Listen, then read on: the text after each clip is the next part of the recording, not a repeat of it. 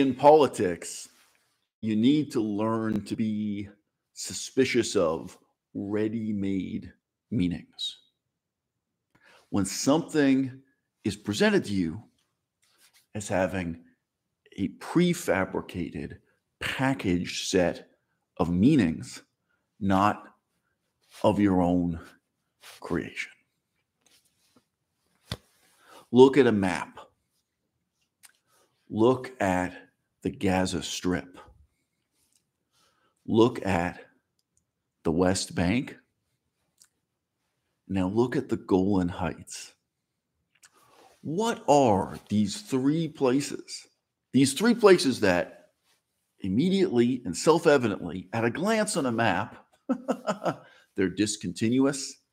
Each of the three clearly has its own peculiar history of how it came to have a dotted line around it on that map. Let's put it like that. Oh, these three places, you are told, you are told they're one and the same. There's supposedly one place that's called Palestine. And the people living there supposedly are Palestinians. It's a ready made meaning, right? What you've got to learn to do in politics is look at the seams of these ideas. Look at the look at the lines where the garment is stitched together and think about how it's made and in your mind's eye to pull it apart into its constituent parts. Now, once you accept the assumption that the people living in the Golan Heights today that they are Palestinians. There's a whole lot of other ideas built into that ready-made meaning. In the English language, whether you are left, right, or center, wherever you are in the political spectrum, Palestinian implicitly means indigenous. That these were the indigenous people who were there paradoxically before the Jews. Hmm? No, need, no need to examine or analyze this claim. Already, all right, this is a complex, paradoxical assumption, right? That they are the conquered people rather than the conquerors, right? That they are a sort of endangered species being encroached upon on all sides by the Jews. Again, despite kind of what you can see on the map. But these deeply paradoxical notions are all packaged into the idea of Palestinian. Okay. What is the Golan Heights? Where is the Golan Heights? Who are the people living and working today in the Golan Heights? The Golan Heights is the former territory of Syria. The people who were living there were Syrian citizens right up until the minute Israel conquered that territory. And the reason why there's a dotted line around it on the map is that Israel doesn't really want to keep that territory. They don't really want to make those people into Israeli citizens. Israel assumed, and we'll get into this assumption, and it's quite appropriate to say Israel, by the way, rather than any particular government in Israel or any particular political persuasion in Israel. Say Israel assumed that they would conquer this small piece of territory and then that they would return it to Syria in subsequent negotiations. For whatever reason, newspapers always refer to this as a land for peace deal. I think that's a little bit of a misleading term. By the end of this video, you're going to understand all this in adequate depth. And I think there is such a thing as adequate depth. I think you can know enough about this conflict without becoming a specialist, without devoting your life to it, without becoming an expert. The problem is precisely overcoming these, these ready-made notions, these, these stereotypes. Now, let's take a step back here. 2023, we're heading into the darkest period of the Israel Palestine conflict in its entire history. The Israeli side has made itself despicable to the whole Western world. It has made itself despicable not just to like left wing intellectuals within Israel, leftists, moderates, even conservative and right wing atheists, right? They matter. You know, you can be conservative or even a little bit to the right, but you're not a religious maniac. You're either an outright atheist, just a very secular, modern cosmopolitan person. There's a huge range of opinion, both within Israel and around the world. Right now, as never before, the government of Israel has made itself despicable to the people who support matters most, right? Including people in a little country you might never have heard of before called the United States of America, right? Israel has just now, just recently, has alienated all of its sources of support. Now, on the other side, on, on, on the Palestinian side, mean, you know, it's it's really it's this incredibly complex map of the world. I mean, to talk about there being just one other side is kind of ridiculous. Like, you think Dubai doesn't matter? You think Saudi Arabia doesn't matter? You think Iran doesn't matter? Like, there are a lot of different sides here that, that matter, right? Uh, well, okay. Anyone in the audience who is over 40 years old remembers Yasser Arafat, right? Now, like at the time, nobody thought Yasser Arafat was a genius. Nobody thought he was a great statesman. Nobody thought he was a good politician. Everybody thought he was corrupt. Everyone thought he was guilty of kind of stupid, self indulgent, short term thinking and power mongering and kind of corrupt gangster politics in Palestine. All right. Nobody thought we'd be in a position, uh, you know, going ahead decades in the year 2023 to look back on the leadership of Yasser Arafat as like a, a golden age when the Palestinians had somebody to represent them at international events. And that, like, I can't really say Yasser Arafat was respectable, right? But today, like, compared to what? Who is the respectable face for the Palestinians today? Who shows up to represent like, Hamas? oh, yeah, Hamas and Hezbollah, a whole bunch of guys, none of whom have the perceived legitimacy of Yasser Arafat, right? Neither within Palestine, nor within Israel, nor within the Middle East broadly, nor for the whole world, right? There's nobody who can fly to Washington, D.C. and speak on behalf of the Palestinians today the way Yasser Arafat once could. So this is a little bit more subtle. The sense in which the government of Israel has become despicable and loathsome it's obvious, and it's talked about openly in the press, in large part because the, the process that produced this despicable government in Israel is democratic. They had elections. I'll talk a little bit more about that. They elected the people who are now in power. And this is a sudden, drastic change in the politics of Israel from the outside perspective. I'll, I'll say what I mean by that too, a sudden change. With the Palestinian side, it's not a sudden drastic change, right? Since the death of Yasser Arafat, it's just been a long, slow, gradual, hopeless situation in which nobody has any political legitimacy whatsoever. And uh, no, this may sound strange to say, but let's let's be real. Nobody has democratic political legitimacy. Also, nobody has like undemocratic political legitimacy. Now, what do I mean by undemocratic? Sometimes there's somebody who's like uh, a crown prince, it's a member of the royal family, someone their, their legitimacy is not democratic at all, but they are really respected, maybe just within the country, maybe in the region, as the as the important leader, right? They, they have nothing like that. Sometimes there's a religious leader.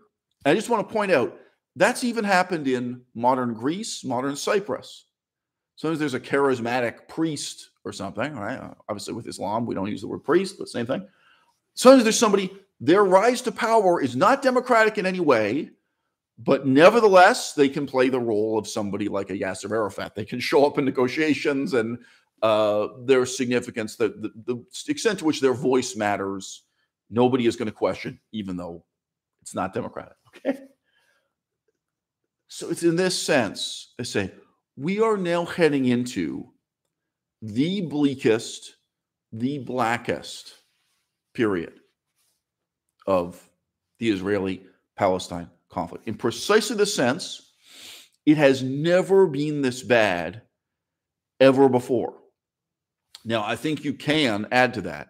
I don't really want to. Uh, I don't really want to get into the politics of Syria in this video. I don't really want to get into politics of Egypt in this video. I don't really want to get into the politics of Turkey in this video.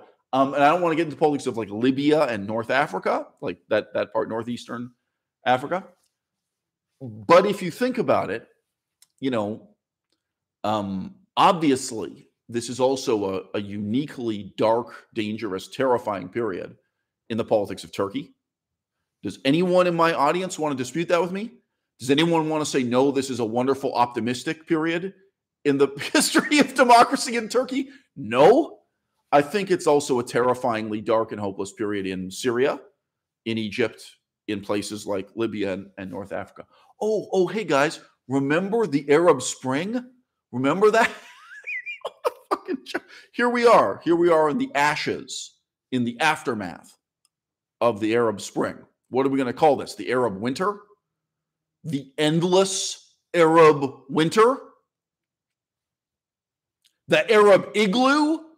I coined the fucking term, guys. Make it happen. This is the era of the Arab igloo that came after the Arab Spring. Because it's a deep freeze we're all huddled in that ain't going to end. So hashtag Arab igloo. Go on. Make it happen. So yeah, I'll just say if you take a step back, you know, what do you want me to say about Iran? What do you want me to say about Iraq? What do you want me to say about the relationship between the United States of America and Saudi Arabia? How that started to change with the election of Trump and then changed way more once Joe Biden was elected. Joe Biden, first president ever, comes into office day one, says it's over between the United States and Saudi Arabia. The strategic alliance, the special relationship is over. Day one, decisive move from Joe Biden. Also, day one from Joe Biden, far more anti China than Donald Trump. What happens? Today, China is in an overt four way alliance, right? China, Russia, Iran, North Korea. The most cynical alliance in the history of planet Earth. That impacts Israel. Iran is in an overt alliance. Oh, hey, sorry, I, I know this is a little bit further on the map, but not that much further. Pakistan Oh, um, does anyone here want to dispute with me? I just said this about Turkey. Do any of you guys feel this is a bright and optimistic period in the history of democracy in Pakistan? Do you know what just fucking happened under Joe Biden in terms of the United States, its relation to China, its relation to India, its relation to Pakistan? Again, most of you guys don't know this kind of shit. Well, I do. Okay. So, yeah, this is an incredibly dark period within Israeli politics, within the region, right? And then in terms of how the whole world relates to the Israel Palestine conflict. I'm going to say this about 10 times in this fucking video. All right? Every monotheistic religion is an apocalyptic death cult. Some of you watching this video are 17 years old, and it's hard for you to accept that. And some of you watching this video are 60 years old, and it's still hard for you to accept that. You want to believe that what the church is about is baking brownies and brotherhood and helping poor people in wheelchairs. I get it. That is what you want to believe. Conservatism it's a perfectly paradoxical name for a political ideology. The quintessence of conservatism is a yearning for the world to end. What it means to be a conservative, whether you are a conservative Christian, a conservative Muslim, a conservative Jew, is that you wake up every fucking day and think this world has gone wrong. Whether you think that that's every day since Adam and Eve bit into that fucking apple, or whether you think of the timeline of the world in terms of, you know, some other magical event like the death of Jesus Christ, the life and death of the Prophet Muhammad, there's some point after which you think humanity is in a fallen state. This world is so evil that you can't wait for it to end. The most authentic expression of conservatism is accelerationism, which is to say, attempts to hasten the end of the world. Looking forward positively to the return of the Messiah, or if you're Jewish, the first appearance of the Messiah. Looking forward positively to Ragnarok, Judgment Day, the apocalypse, whatever the fuck you want to say. At its heart, that's what conservatism is. Conservatives are people who want to see the world burn. They're people who embrace the judgment of God that this world is not good enough. It can never be good enough. You can never be good enough because they feel human nature is bad. It's loathsome, it's evil, and it's wrong. They're disgusted with their own bodies, they're disgusted with their own desires. It's not just homosexuality they're disgusted by, they're disgusted by heterosexuality. It's not just war they're disgusted by, it's peace they're disgusted by. They're disgusted by vanity. And you can already see this in the prophets of the Old Testament. Once you start to look around with this mentality, vanity of vanities, all is vanity. They despise life. That is what it is to be a conservative. It is an apocalyptic death cult.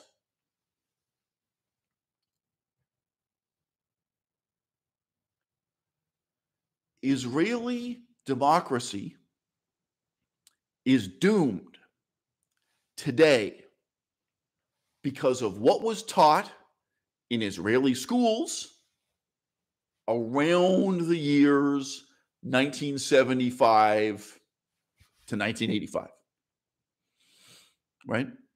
The people who matter in politics today, some of them are older. We can go back to 1965 if you like. But let's just say what was taught in schools in Israel between about 1975 and 1985. All the conservatives, whether Jewish, Christian, or Muslim, they're all complete hypocrites on this issue because they can see the problem when they look at another religion, but they can't see the problem when they look at their own religion. Right? Like if you talk to a conservative Jew, I mean, once again, we could say this again with a conservative Christian. You say, "Oh man, you know, um, I've been living in Utah, and you know, it's so sad. I meet these people in Utah they went to a Mormon primary school. They went to a Mormon high school. They went to a Mormon university. What do you think their view of the world is? Politically, what do you think's possible for these people, right? Think about their whole outlook. Oh, yeah, that's so sad. Oh, yeah, I can see what's wrong with that. Okay, talk to a Christian about the Muslim madrasas. Say, Look at these kids raised going to a fucking Muslim madrasa. They go to a Muslim primary school, they go to a Muslim high school, they go to a Muslim university, like the Muslim kindergarten. They're going through this madrasa system. They're getting this stuff, you know, rehearsed and memorized in their head. This is their upbringing. You know, what do you think's going to happen? Like politically, what's possible? How can we have democracy? How can we have progress? How can we even have science? What what do you think their attitude is going to be towards evolution? And a conservative Christian can look at the Muslims and go, "Oh, oh yeah, that's that's bad." Right? They can't look at their own schools and see what's wrong with it. They can't look at their own schools and see how fucked up and evil this is. They can't look at their own schools and think, if this is what children are being taught today, what is going to happen in the world 30 years from now? Now, I'll just say both the left and the right are very comfortable with talking about politics being in a reciprocal relationship with economics. They're comfortable with that, right? Oh, yeah, yeah, yeah. You know, um, the price of gasoline is up and unemployment is down and wages and the stock market and the economy. Whether you're left or right, you're real comfortable talking about economics and how that relates to what's going on in politics. Nobody is comfortable talking about education in relation to what's going on in politics. All right. Just want to say this real briefly. The Israeli economy is fucking phenomenal.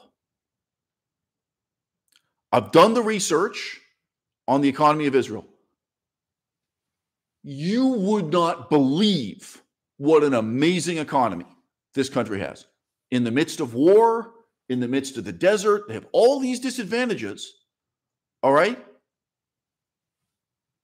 It's an unbelievably successful country economically. They have really put the pieces together. And then on top of that, they've got offshore oil money that's just starting to come in. So you have this amazing economy in every respect. Like, guys, it's not just one thing they're good at. It's like you go through this economy sector by sector. It's mind blowing what a great economy Israel has. And then you know, oh, wow. And now they're going to get oil money, which they didn't have before. They got these platforms that are just starting to pump oil. Okay. They got some offshore oil money. Uh, you know, by the way, uh, so does um, the island of Cyprus. It's not far from Israel. Just say there's some oil there in that that part of the ocean. Okay, so this is kind of about the banality of economics. If you think economic success means political success or economic optimism equates to political optimism, no. Israel is an unbelievably hopeless, heartbreaking country to examine, to analyze, because of the relationship between education and politics. Um, yeah, so funny comment from Gen X Gamer. Shout out to Gen X Gamer. Thanks for being here in the crowd. Uh, well, you know, um, he knew someone in Utah who believed that the people who built the pyramids were white. Just lately on this channel, I've also had quite a lot of hate mail from people who believe that the the the, Egyptians who built the pyramids were black, that they were sub-Saharan black Africans. So seems like a lot of people look at the history of Egypt and want to write themselves into that uh, that history for whatever for whatever reason. Um, I guess it's just the sort of unearned ego trip. I, you know, I guess it's envy. I mean, it must be tough to look at your own country's history and think we never built the pyramids. We oh, in all these same in all the same centuries, the same number of centuries, in all these centuries, we never accomplished anything great. I don't know.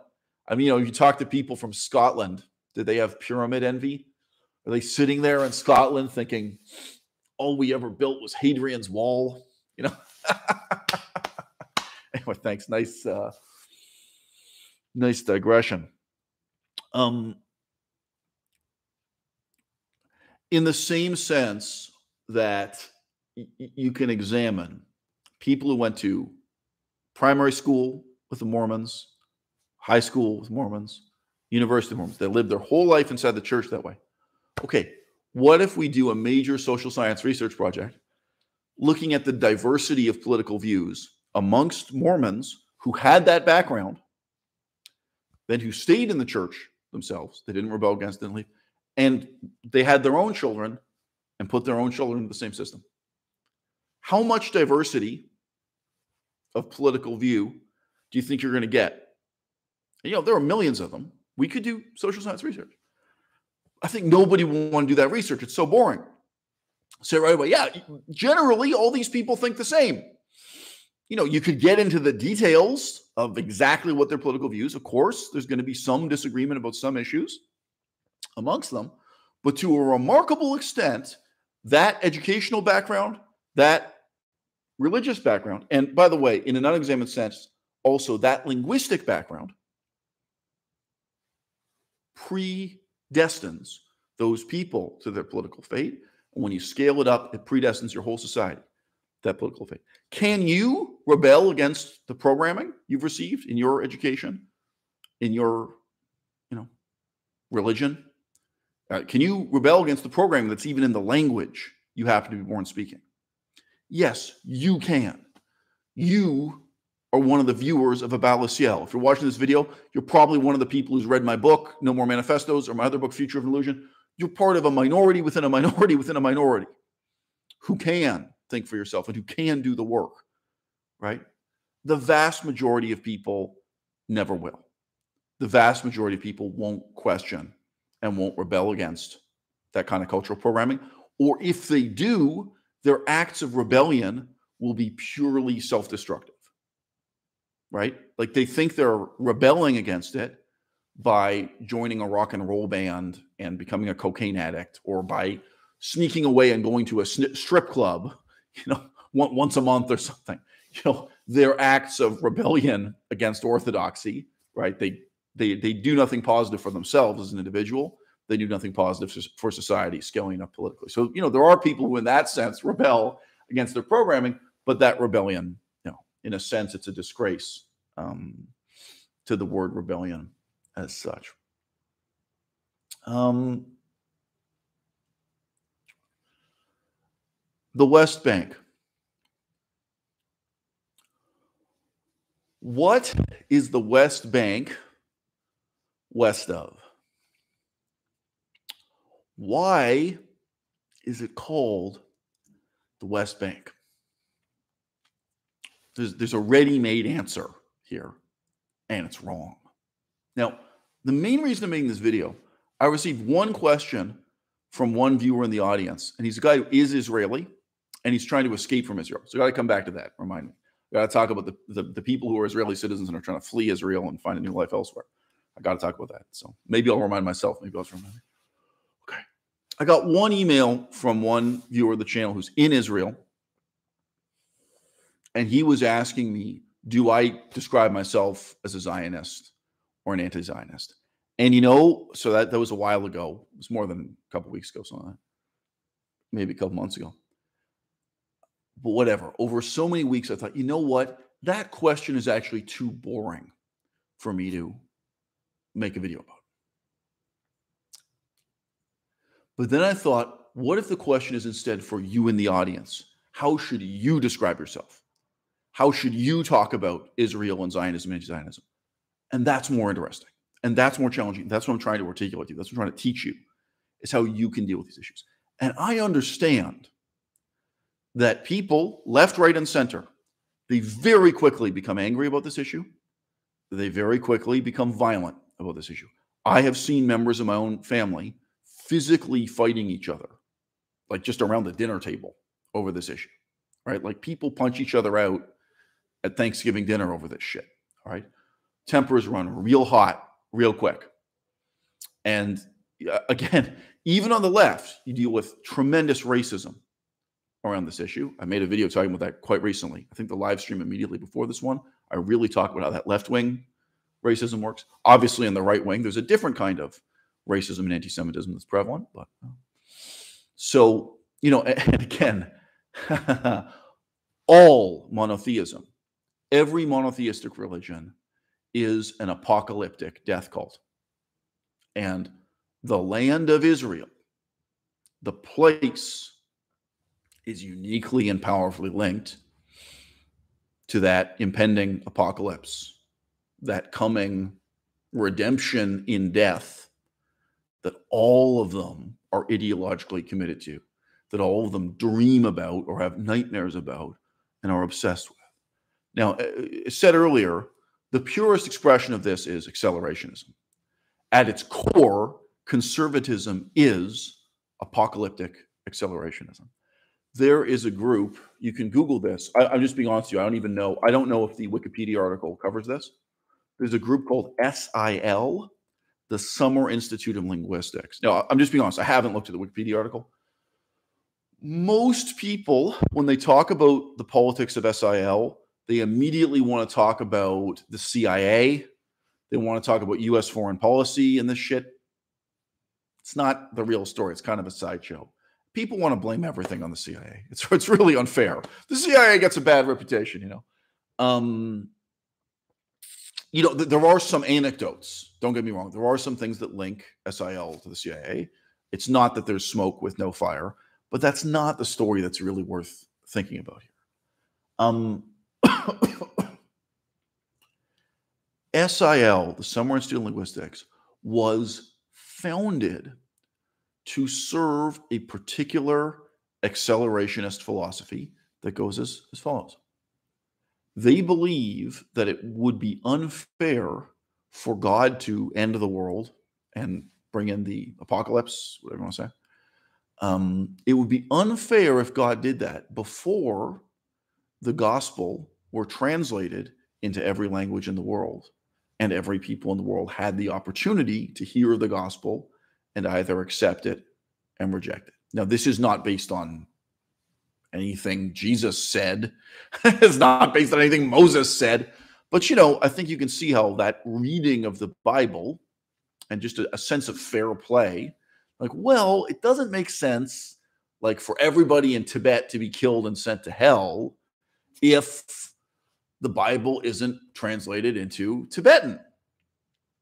Right. And then you start getting into a list of more and more obscure languages. Oh, here are these indigenous people in Papua New Guinea. Here are these indigenous people living in a remote part of the jungle in Brazil, and the Bible hasn't been translated into their language. And you can see right away, as soon as they created this ideology, money starts flowing in.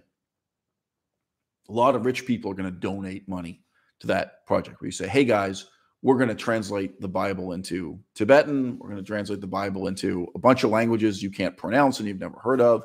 And we're going to take the gospel and we're going to bring it to these people.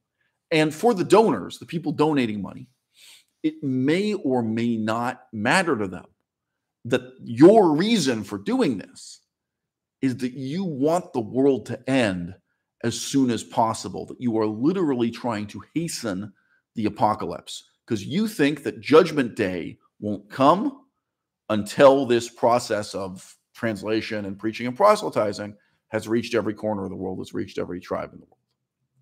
That's their philosophy. Okay. Now, obviously, I, I can tell you that this is insane. In a sense, it's insane, but in a sense, it's perfectly rational. That is the heart, the beating heart of conservatism. And I want to say this to you straight up whether you are a heterosexual male or a heterosexual female, the agony that the conservative character type lives with, it's sexy, it's attractive, it's got a kind of magnetism to it. You know, um, when you meet someone who really is that fire and brimstone character. You know, and, again, even the late the prophets in the Old Testament, toward the end of the Old Testament, really have that character. This is not something you only find in Christianity or only find in Islam. When you meet someone who is living to die, someone who's really fucking down to die for their principles, no matter what, how fucking insane or stupid their principles are. You meet someone who says, To me, all flesh is grass. To me, this world ain't shit. You know, people who really fucking have discarded this planet as a vale of tears. It's sexy. It's charismatic. It's powerful. I'll say this very simply it's not depressing or depressive, right? It, it's got a very kind of world conquering vibe to it, even though it's a world destroying, you know, ultimately self abnegating, self hating. We say world weary, but it's a world hating vibe. The vibe is that you don't want this life, you don't want this planet and you just want it to end as soon as possible. But again, that type of preacher that type of character, it actually in practice, it's very sexy. It's very charismatic. It's very appealing to people. I don't know how gay people and lesbian people feel about it, to be honest with you. That's why I said heterosexual. Um, you know, I've met conservative religious women and they're not beautiful to me or they're not particularly beautiful. Uh, and they're not intelligent enough for me. They're really they're really not intellectually developed enough for me. But just the way they live with that agony and that that sense of the ethical seriousness of their own life in contrast to the triviality of the things of this world right it's very sexy it's very appealing okay let's give you some real world contrast over here is a bitch who cares about shoes you want to talk to me about designer shoes, bitch? Over here is a bitch who cares about a gold necklace. You want to talk to me about a gold necklace, bitch? Over here is a bitch who is a member of an apocalyptic death cult. It's incredibly fucked up. It's incredibly evil. But one of the reasons why it's been so popular and so common on our whole fucking planet for more than 2000 years right is that it's it seems profound it seems powerful it seems sexy it seems to give this person some kind of leadership qualities that a relatively shallow and vain person who is enjoying their life doesn't have right and like guys you know like there's the sense in which we all have to take a step back and challenge ourselves out of these two women i mean they're they're caricatures you know is it is it really so bad that this woman wants to own designer shoes? Is it really so bad that she wants to own a gold necklace? Is it really so bad that she wants to enjoy this life? And a large part of her enjoyment of this life and what this world has to offer is vanity, vanity, vanities. You know, you got to kind of challenge your own bias or perspective here. And on the other hand, this other woman, you know, there's the sort of veneer of profundity. There's the veneer of gravitas and seriousness about her ideology. But what does she actually believe? She believes that, you know, like the most important thing in the world is to cut off part of the penis of her own child to make a covenant with this magical God. Um, because this God made a deal with Abraham that you cut off part of your penis. Uh, it's it's barbaric. It's stupid. It's despicable. It's absolutely worse than caring about designer shoes or gold necklaces, right? But I do think there's like a sense in which we uh, we even instinctually react to this as having a certain kind of gravitas, and people are drawn to it, and people become followers of not the preacher who says, "Hey, love your neighbor" and all this shit. I think there's a reason why within all these traditions, very often, very often, or perhaps always, the most powerful message, right? The atom bomb of the monotheistic ideological arsenal is the world is going to end. Judgment day is coming. You know, that's that's really the linchpin of their ideology. It matters more than heaven or hell. It matters more than the Sermon on the Mount, you know. The first shall be last and the last shall be first. Yeah, yeah, yeah. You know, it puts the timeline of your life in perspective. It puts the meaning of life for the whole history of the world in perspective. Judgment day is coming. And therefore, you, you really give a fuck about these designer shoes? Do you really give a fuck about this gold necklace? Right? That's the vibe. All right. Um, so look again, and you could switch the genders around. If you are a heterosexual woman, do you really respond positively to a, a heterosexual man who is who is vain, vain and petty and enjoying the petty things of this world, as opposed to that seeming profundity of that monotheistic apocalyptic uh, worldview? Now, in every country, um, left, right, and center, we have a tendency to despise the rich as if they are social parasites. All right, it's a big problem in politics and economics of our of our time. Now, I've argued, even in my my own book, uh, No More Manifestos, how how misleading this is, whether we're looking at the history of prior centuries or the current and ongoing history of, of this century, you have to really look at who the rich are, who the ruling class are, and what they do in a much more sophisticated way. Um, okay. Part of the definition of being wealthy, let's just say in brief, of being a multimillionaire, part of the definition is that you can move anywhere in the world right? In the 21st century, if you are a multimillionaire, if you are truly wealthy, right, you can move anywhere in the world. Right now, if you are a left of center Israeli, moderate left, over to far left, the whole range, if you are a secular atheist Israeli who has several million dollars to your name, what are you going to do? You're going to flee Israel. Now, obviously, I'm not saying that just started happening the day before yesterday. It didn't just start happening with the most recent elections that put Benjamin Netanyahu back in power, blah, blah, blah, blah, blah, right? Obviously, there has been some long term pressure on Israel this way. Um, I've met Israelis all around the world who fled Israel. Uh, to be honest with you, I don't think any of the ones I talked to were multimillionaires. I think they were middle class people or some of them even poor. But, you know, there have been some attempts to survey these Israelis who leave Israel. And keep in mind, a lot of them still have the passport, they still have the citizenship, but they've like they may not have actually become a citizen of another country, but they're living somewhere else. Again, if you're a multimillionaire, you don't have to become a citizen of the United States to live most of your time in California or most of your time in Florida. You can make it happen. You can cross borders, you know, what have you. Yeah, again, uh, when I was in Thailand, I met all these white people who are multimillionaires and they live in Thailand, but they are not citizens of Thailand. If you are a multimillionaire, you have a lot of options. You can work something out with the paperwork. You can get one. You can get one kind of visa or another, whether that's an investment visa or a retirement visa or long-term vacation visa. You can make it happen to live somewhere else in the world. Um, it's always been striking to me that when you look at the attempts to survey and interview these Israelis who've left Israel to live elsewhere overseas. They say they feel more comfortable in Berlin than in Israel.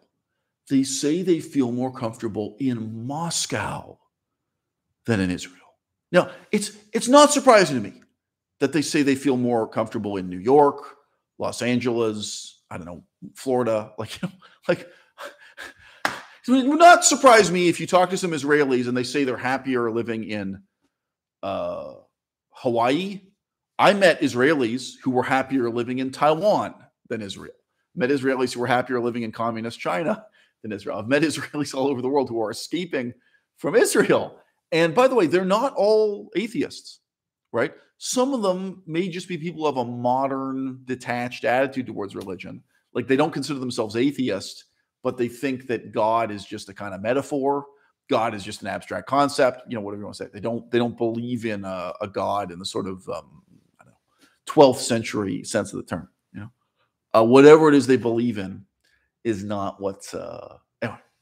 They don't believe there's a God who answers their prayers and talks to them at night, or this this kind of thing.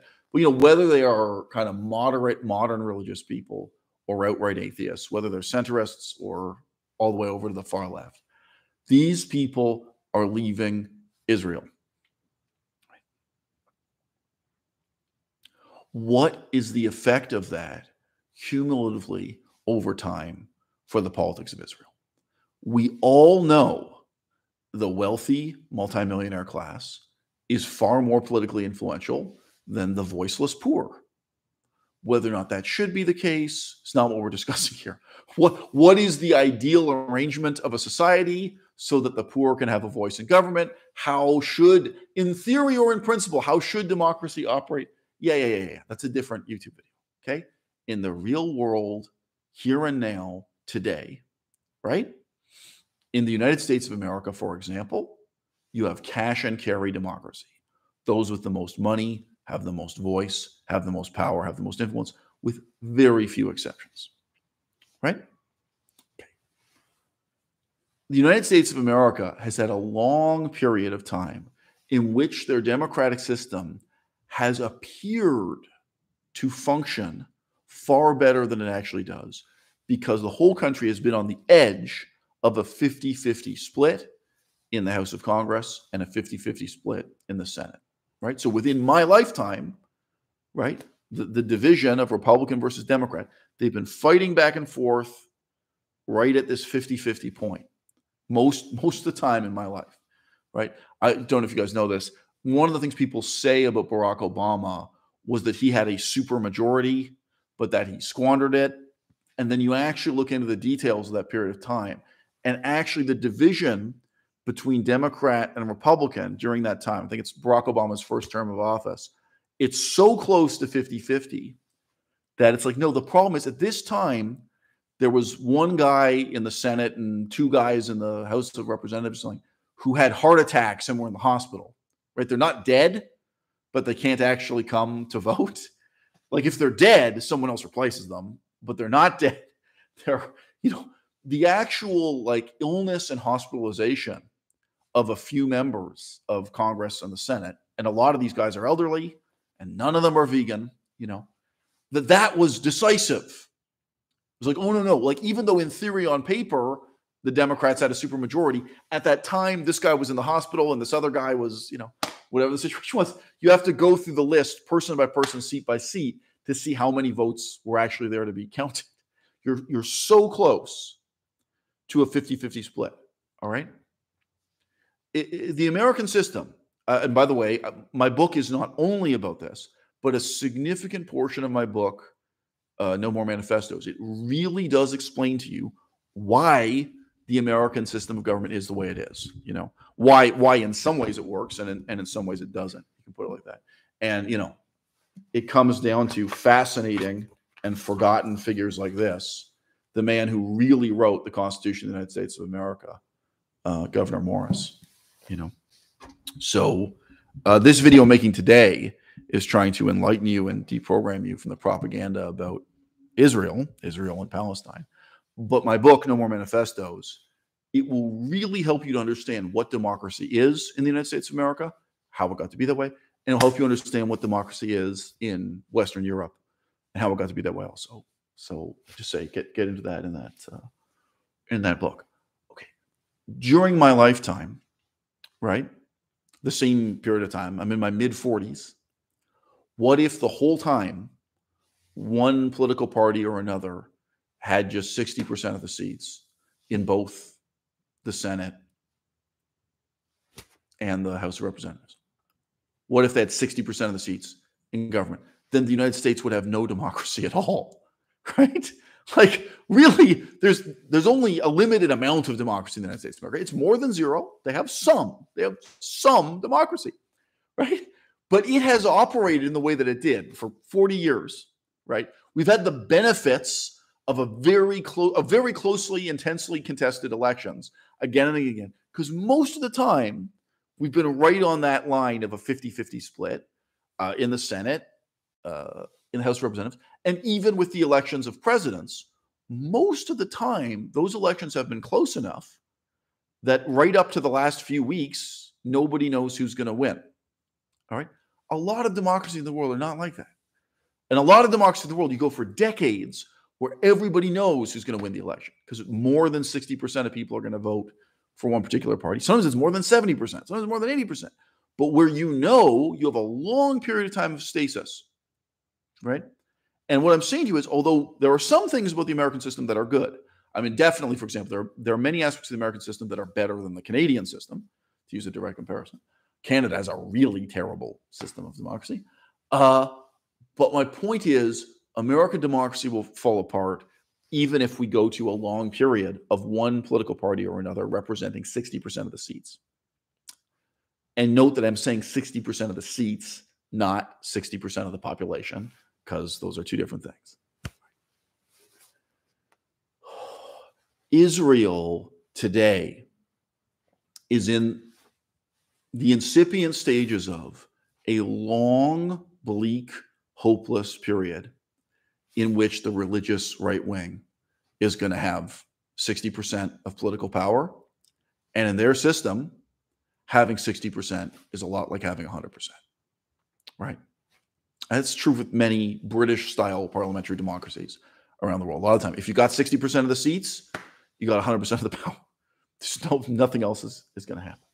And what I'm saying to you is just we're just talking about within Israel at this moment, not getting into Palestine, Iran, Iraq, Turkey.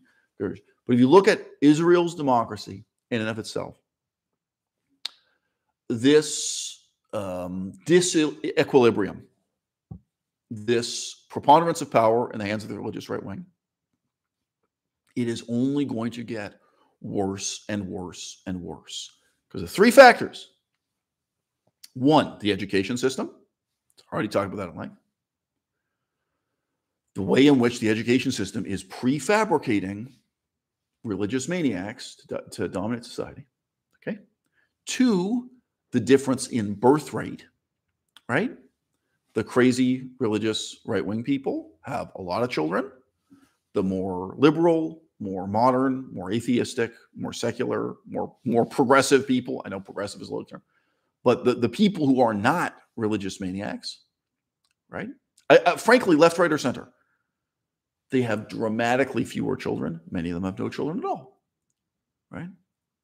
Like, let me put it this way when it comes to Israel the people who are connected to reality have few children. The people who are disconnected from reality, the true believers, the people who are living in a dream, they have a lot of children. Again, this didn't just start yesterday, this has been going on for decades.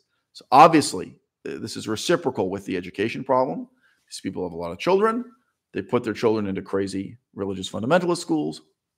The outcomes are great. Okay. But point three is look at the relocation of the millionaire class. That really matters. Now, I'm not saying you can just look at the number of multimillionaires from Israel who actually give up their Israeli passport and start using an American passport, right? It's very difficult to do. A lot of these people, like they, they still have an Israeli passport, but whether they choose to live in the United States of America or Berlin or Paris or the Caribbean or Thailand or Japan, a lot of the multimillionaire class of Israel is just going to check out. They are just going to leave. They are no longer going to be part of that democratic process, that democratic struggle and who is going to remain. Right. So my point is here, like for one thing, a lot of poor people don't really have the ability to leave Israel. They don't have the choice, but some of them will leave too. There are poor and middle class people in Israel who are atheists or who are left wing or have a more modern, moderate outlook. They are uncomfortable in Israel. Plenty of them leave. Uh, we had someone in the audience saying that he he's met those people working in kitchens. I assume that was in New York City, Israelis who've left and gone to New York. Um, I, I, met uh, two Israeli guys who ran away from Israel, um, started a bakery in Taiwan. So a Jewish bakery in Taiwan run by two Israeli guys who are getting the fuck out of Israel. I, I, don't think they were multimillionaires. They saved up enough money to open a bakery in Israel and get the hell out, sorry, in Taiwan and get the hell out of Israel. You know, yeah, there are some poor people, there are some middle class people who do that. Okay. But whether or not you regard this as tragic, poor people don't have very much power and influence in a parliamentary democracy, in a British style semi democracy. In the British tradition of parliamentary democracy, it's the multimillionaire class who really matter, who really have influence. And disproportionately, it is the left and the center, the modern secular multimillionaires who are leaving Israel, who are disengaging from that political process, who are giving up. So, again, that's going to exacerbate this shift to the religious right within Israel. Okay. So, we come back to the title of this video. And as I'm clarifying, this would be too short and too boring a video if I just told you what my answer is. If people ask me, Are you a Zionist or are you an anti Zionist? I'm telling you how you should answer this question. You and you and you, whoever the fuck you are in the audience. All right. The first example I went through was the Golan Heights. All right. What is the Golan Heights? Who are the Golanese? Who are the people of the Golan Heights? And you have to be willing to move beyond this ready made, prefabricated notion of Palestinians. it's deeply incoherent, it's intentionally misleading, and it's ultimately nonsensical. All right. The people of the Golan Heights were citizens of Syria who ended up being conquered by Israel. All right. In a tradition that was very much ossified in the Napoleonic period, a tradition that was set in stone, standardized in the Napoleonic period, right? We have this assumption that nations make war with one another and then they sit down to write a treaty. And when it comes time to write that treaty, both sides want to have something to trade, right? So when Israel gets to that very Napoleonic treaty writing process, because it hasn't changed, hasn't changed since Napoleon, they say to Syria, okay, you invaded us. In retaliation, our army moved forward and captured this small piece of land called the Golan Heights. They've been holding it now for decades and decades. Now, if you would like to sign a treaty with us where we normalize the border, we establish the, the, formal relationship between the two countries, so on and so forth, you have a peace treaty that establishes peace and trade between these two countries, ends the war.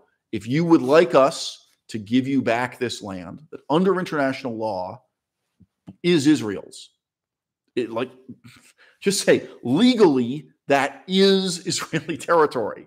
And if you don't like it, like if you don't like this tradition, I'm not saying like the fucking Napoleonic, the, the, the, it's not even Napoleon's fault, but the tradition of how international relations works, of how political science works, of how borders are defined, how treaties are written, this tradition that really became normalized in the Napoleonic period, which, by the way, is the same period when uh, the American Revolution comes to its end and the United States of America starts to enter into its international relations with all of its neighbors not just the indigenous people, but the Spanish Empire, the French Empire, the British Empire, right? So it's it's not a coincidence. This is also the period in which these these European empires are spanning the whole globe, right? So you get different European countries disputing who controls what territory in Africa, in Asia, in South America, North America, right? So there's a reason why it's in this period that these things really become normalized. It was a very clear cut process. But I'm not saying this is like morally good or perfect. It's just the result of a centuries long um, cultural development of these of these norms and assumptions. Okay, so again, legally, the Golan Heights is Israeli territory. Okay, the citizens who have been living in the Golan Heights, nobody wants to use this word, right? They are captives of Israel. They were conquered, they were captured, right, in that war. And again, legally, this is the system we have. What matters very much is that Israel was not the aggressor, was that Syria invaded Israel first, and then Israel retaliated by advancing and taking this land. Under, again, whether you like it or not, that is our system. And that's why, still to this day, uh, North Korea and Communist China will not admit whether it was North Korea that first invaded South Korea or South Korea that first invaded North Korea because legally that matters. Like who is occupying who, who is the aggressor, that really matters. And uh, nobody seems to care about this, but Russia in its wars with Ukraine, even before, uh, let's say before 2020, you know, back 2015 and, and all this, all these little conflicts that led up to the current uh, war, Russia was always very careful to create some kind of pretext so that they could claim in a court of law that they were not the aggressor, that they didn't invade first. Uh, I've never seen mainstream news talking about that. But normally, when you get into it, the Russians have a list of dates on a calendar, like, oh, on this date, there was uh, this explosion here. They normally have some, uh, you know, they have a case they can present in court that when Russia invaded the Donbass or when Russia invaded Crimea or something, that there really was casus belli, that they were reacting to some kind of aggression from the Ukrainian side. Now, obviously, I'm not saying this is true, but my point is uh, this is a legal doctrine and a cultural tradition that can be manipulated, right? Um, you know, anyway, we, get all kinds of funny examples of when the, when countries were and were not able to. Um, oh, sorry, the original the phrase we have in English, the Manchurian incident, and so on. You know, different uh, situations where there was some attempt to make it appear that the other side was invading when in that one side was invading when actually the other side was invading. this kind of thing goes on for this reason. Okay. So um, I know people are very passionate about this. They're very angry about this. They very readily resort to violence about this. Okay. When you look at the map of Israel, once you understand this about the Golan Heights, once you have admitted to yourself the nature of what the Golan Heights is and who the people are that are living there, right? Very rapidly, you're going to realize it is the same story over again with the two other territories that are referred to somewhat misleadingly as Palestine. Okay. I've been through this several times with people left, right, and center where I ask them very simply, why do you think the West Bank is called the West Bank? What is it the West Bank of? Very often, their first reaction is Palestine, that it's the West Bank of Palestine. No, no, that doesn't make sense. If your claim is that, like, this shape on the map is Palestine, then it would be the eastern zone. It wouldn't be called the Eastern Bank, but it would be the easternmost region of Palestine, right? That would be east of Palestine, the east corner. Why is it called the West Bank? Because it was the West Bank of Jordan. In exactly the same way that the Golan Heights used to be Syria and the people who lived there were Syrian, the West Bank was part of Jordan. And the people who lived there were Jordanian. They were citizens of Jordan. And Jordan had a parliament.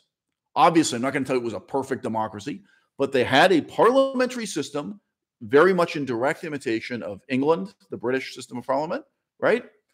And they had elections in the West Bank where people from the West Bank were part of the same government, the same parliamentary system that represented the rest of Jordan, right? Here's where it's different.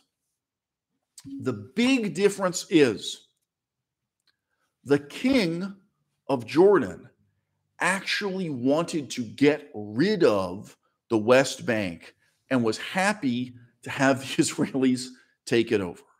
Now, there's kind of a long story as to why that is, but one of the crucial elements is that the, the, the Palestinian terrorists of that time within Jordan, they'd had a period of actively attempting to assassinate the king of Jordan and other members of the royal family. So there was a power struggle within Jordan that was very bitter, and it led the king of Jordan and, and the royal family and elite around him, a certain powerful minority within Jordanian society, to come to the conclusion that it was in their interest to embrace the Israeli occupation of the West Bank of Jordan rather than to continue to try to pacify it themselves, to try to use their own army to go in and, and massacre Palestinian terrorists and exert the royal family's control over it and to snuff out this, this movement, right? Now, you may say that I'm simplifying the situation. I think that is an adequate description of the politics. I really do. Uh, again, you can know enough about these things. You don't have to devote your life to it and become a become an expert in it. Um, you know, having heard this, this is one of those things. Once it's seen, it can't be unseen. If you know people who are pro-Palestinian, left, right, or center, most likely you're talking about left-wing people. If you're talking about white people, but if you're talking about people who were born uh, born into a Muslim family, whether they be Arabic, Middle East, whatever their background is, many of them are right wing. Many of them are conservative Muslims. They're they're true believing right wing Muslims, but they also are pro Palestinian. So you can meet people of all different political persuasions who are pro Palestinian. You will notice that they very often bitterly hate the royal family of Jordan. They will often say to you that they hate all of these leaders in the region, including the leaders of Egypt, whom they consider to be anti Palestinian. And often what they'll say about it is very incoherent and confusing.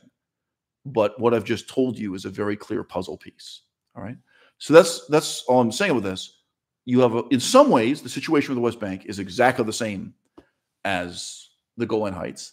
The difference is that Syria does want to eventually have the Golan Heights returned to Syria.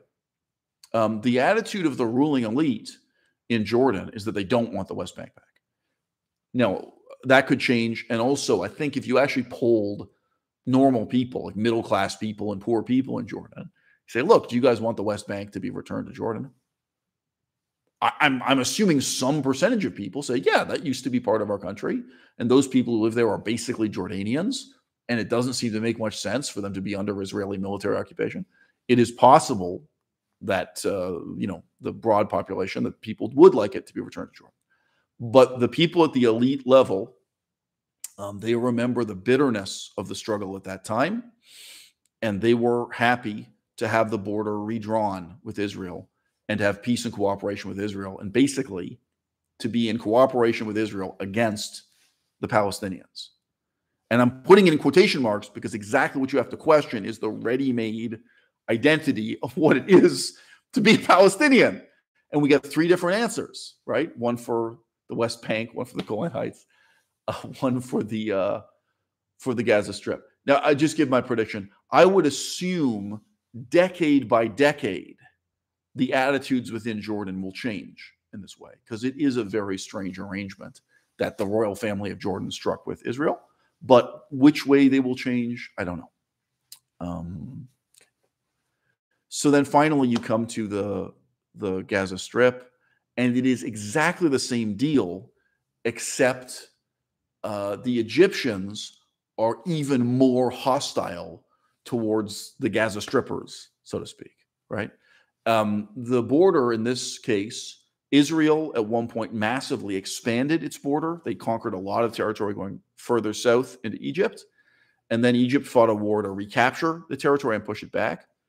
And when the Egyptians negotiated the line and drew the line for the new border with Israel, which is meaning the border they still have today, um, the attitude of the Egyptians at that time toward the Palestinians, again, you have to question what does Palestinian mean?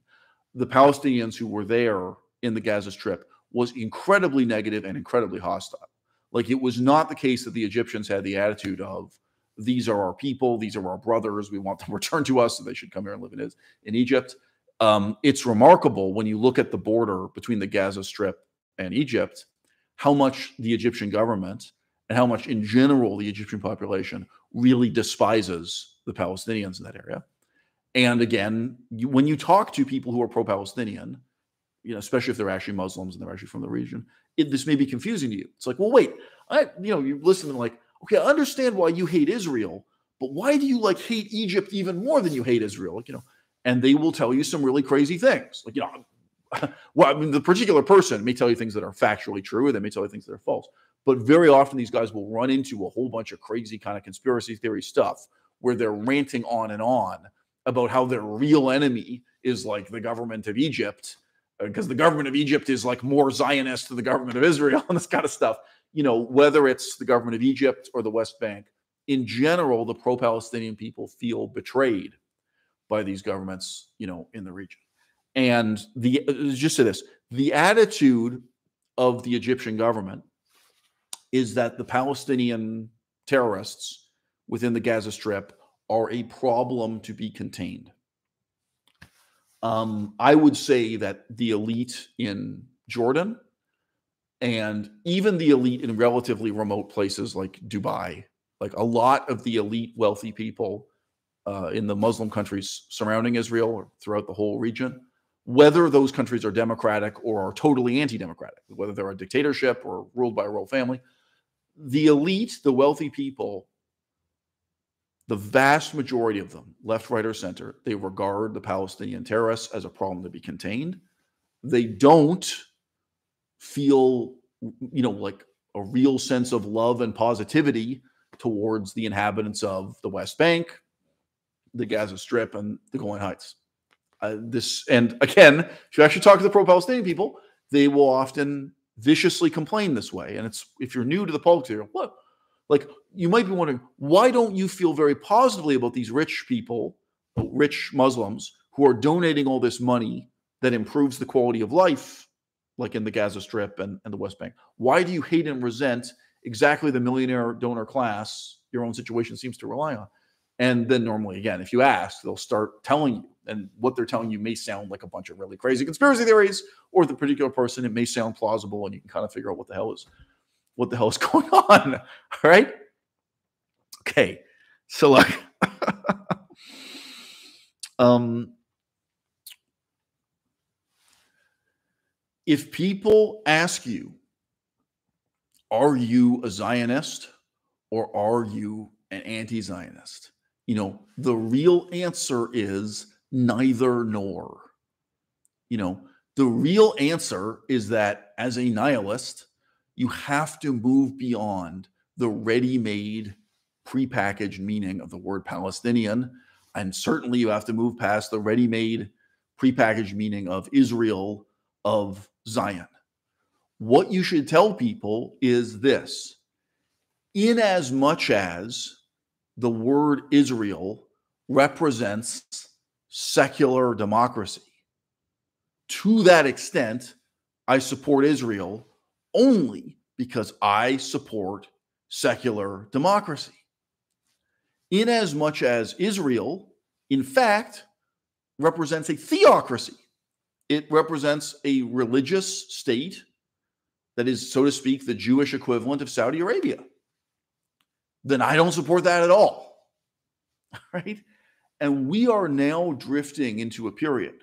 And say my prediction is it's going to be very durable, it's going to be long term, in which Israel really is the Jewish equivalent of Saudi Arabia, in which Israel's claims to being a modern Western secular democracy, a place where atheist intellectuals can flourish, is going from wafer thin to paper thin. We're heading into what I've repeatedly called here the darkest period of Israeli Palestine relations in the history of the world.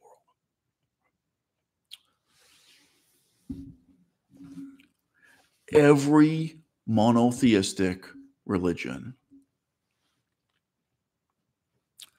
is an apocalyptic death cult. There is a tradition in Theravada Buddhism, this is the Orthodox school of Buddhism. There is a tradition that the world will end, and it's always expressed in terms of hundreds of millions of years. And you can imagine some people try to interpret this like geologically there are some poetic statements that like this world is going to last such a long time that the rain falling on the highest mountains will wear those mountains down until they're flat and that other places of the world that are flat new mountains will be pushed up you know like the world lasts for such a long time that there are huge boulders that crumble into tiny pebbles there is this imagery um, within theravada buddhism the sense of the enormity and the ancientness of the world is emphasized. These people didn't know about dinosaurs or anything like that. But they say things like, you know, the ocean is so vast. You know, there are sharks, but then there are whales that are big enough to eat the sharks. And then there are whale eaters. There are whales so big that they eat the smaller whales. And then there are whale eater eaters there are these even more enormous whales that dwarf the other whales. You know, again, none of this is based on a real scientific understanding. They don't understand geology, they don't understand evolution or biology or or anything else. But this was an ancient culture in India, and that was their perspective on the world. The world had gone on for millions of years, and it would continue to go on for millions of years. But nevertheless, they did also preach that there's a kind of apocalypse that will eventually come. And everyone in the religion is trying to delay that apocalypse. They want this world to last as long as possible, even though their perspective is that it goes on for millions of years. Right? You have to understand the core of the Jewish religion, the core of the Christian religion, the core of the Muslim religion. And the definitive agony of the conservative living in the 21st century is that these are people who want the world to end. They read in the Bible that God wiped out all mankind in a flood once before. And then God created the rainbow as a symbol of his promise to mankind that he would never do this again. There is no explanation in the Bible for why God broke his word, why God changed his mind. Um, he made the promise after the flood that he would never again do this, wiping out all the people of the world. And the symbol of his promise is the rainbow. These are people who completely ignore that part of the scripture and fasten on and focus on what's properly speaking the heretical doctrine that God is precisely going to do again what he promised and pledged he would never do, that God is going to break his own covenant, his own commandment. They're so eager for the next deluge, for the next flood, for the next mass genocide. These are people who hate this life. They're people who hate this world. They're people who hate themselves. And they inculcate this world hating, self hating attitude into the next generation through organized education, through organized religion. All right. I realize a tiny percentage of people become suicide bombers, right? It's insignificant. But the number of people who are looking forward to Judgment Day, the number of people who look down on this world as not worth saving and this life as not worth living, it is not measured in the millions, it's measured in the billions at this point. That is the basis for the utter hopelessness of this new era of Israeli politics. And you must look seriously at education in the United States, at education in England, education in Scotland, Germany, Switzerland, Brazil, wherever you may be watching this video. You have to look at education in your own country and ask yourself, how close are you going to come in the next 30 years to precisely this same problem that dooms the democracy of Israel.